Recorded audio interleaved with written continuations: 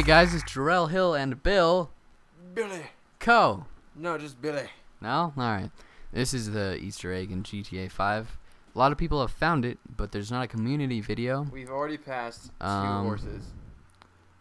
I don't know what that means. you, gotta, you gotta look at the statues.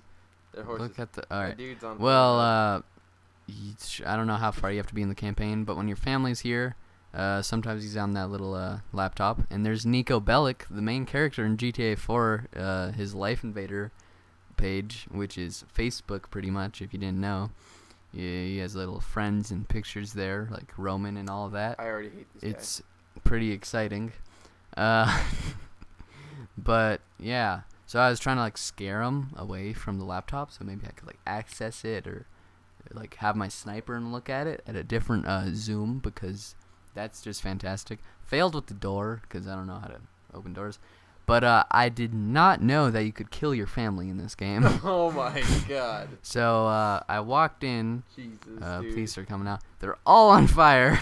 They're dead. very very sad then i was like oh no well i'm gonna still try to go on this laptop house starts burning down i'm on fire it's just everything ta- whole table now the computer probably doesn't work You mm, fire and i die.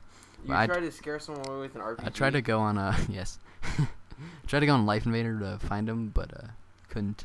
Alright, but, so, uh, Roman, yeah. Bye. Watch other videos at humor.com Now you say bye. bye. I'm still BillCo.